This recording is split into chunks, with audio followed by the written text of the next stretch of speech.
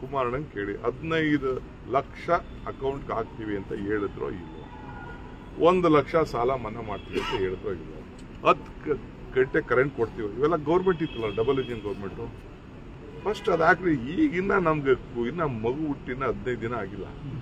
ಇನ್ನ ಬಟ್ಟೆ ಗಿಟ್ಟೆ ಸೈಜ್ ಗೀಜೆಲ್ಲ ಉಡ್ತಾ ಇದ್ರು ಹರಿಪ್ರಸಾದ್ ಅವರು ಒಂದಷ್ಟು ಬೇಸರದ ನುಡಿಗಳನ್ನ ಆಡಿದ್ದಾರೆ ಸರ್. ನಾನು ಬಾಡಿಗೆ ಮನೆಯಲ್ಲಿಲ್ಲ ಸ್ವಂತ ಮನೆಯಲ್ಲಿದ್ದೀನಿ.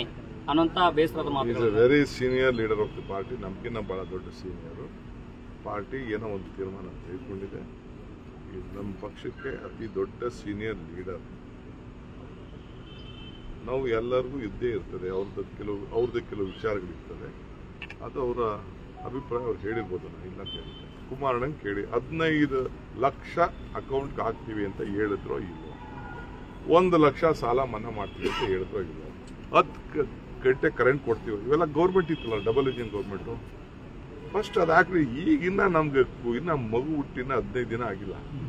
ಇನ್ನ ಬಟ್ಟೆ ಗಿಟ್ಟೆ ಸೈಜ್ ಗೀಜೆಲ್ಲ ಉಳ್ತಾ ಸಾರಿಗೆ- ಹರಿಪ್ರಸಾದ್ ಅವರು ಒಂದಷ್ಟು ಬೇಸರದ ನುಡಿಗಳನ್ನ ಆಡಿದ್ದಾರೆ. ಸರ್ ನಾನು ಬಾಡಿಗೆ ಮನೆಯಲ್ಲಿಲ್ಲ ಸ್ವಂತ ಮನೆಯಲ್ಲಿದ್ದೀನಿ ಅನ್ನೋಂತ ಬೇಸರದ ಮಾತು very senior leader of the party ನಮ್ಗಿನ್ನ ಬಹಳ ದೊಡ್ಡ ಸೀನಿಯರು ಪಾರ್ಟಿ ಏನೋ ಒಂದು ತೀರ್ಮಾನ ತೆಗೆದುಕೊಂಡಿದೆ. ಇದು ನಮ್ಮ ಪಕ್ಷಕ್ಕೆ ಅತಿ ದೊಡ್ಡ ಸೀನಿಯರ್ ಲೀಡರ್ ನಾವು ಎಲ್ಲರಿಗೂ ಇದ್ದೇ ಇರ್ತದೆ, ಅವ್ರದ್ದು ಕೆಲವು ಅವ್ರದ್ದು ಕೆಲವು ವಿಚಾರಗಳಿರ್ತದೆ ಅದು ಅವರ ಅಭಿಪ್ರಾಯ, ಅವ್ರು ಹೇಳಿರ್ಬೋದು ನಾನು ಇಲ್ಲ ಕೇಳಿದ್ದೆ ಕುಮಾರಣ್ಣ ಕೇಳಿ, ಹದಿನೈದು ಲಕ್ಷ ಅಕೌಂಟ್ಗೆ ಹಾಕ್ತೀವಿ ಅಂತ ಹೇಳಿದ್ರೋ ಇಲ್ವೋ? ಒಂದು ಲಕ್ಷ ಸಾಲ ಮನ್ನಾ ಮಾಡ್ತೀವಿ ಅಂತ ಹೇಳಿದ್ರೋ ಇಲ್ವೋ?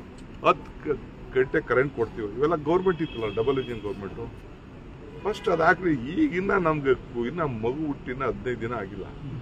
ಇನ್ನ ಬಟ್ಟೆ ಗಿಟ್ಟೆ ಸೈಜ್ ಗೀಜೆಲ್ಲ ಉಳ್ತಾ ಹರಿಪ್ರಸಾದ್ ಅವರು ಒಂದಷ್ಟು ಬೇಸರದ ನುಡಿಗಳನ್ನ ಆಡಿದ್ದಾರೆ ಸರ್. ನಾನು ಬಾಡಿಗೆ ಮನೆಯಲ್ಲಿಲ್ಲ ಸ್ವಂತ ಮನೆಯಲ್ಲಿದ್ದೀನಿ ಅನ್ನೋಂತ ಬೇಸರದ ಮಾತು very senior leader of the party ನಮ್ಗಿನ್ನ ಬಹಳ ದೊಡ್ಡ ಸೀನಿಯರು